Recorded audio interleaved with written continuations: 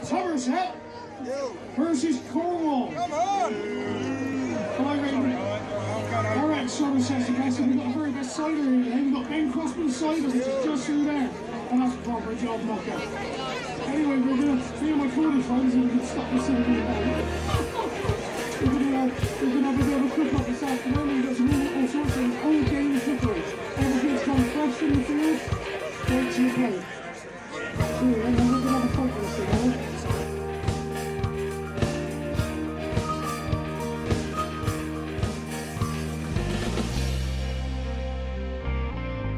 Test.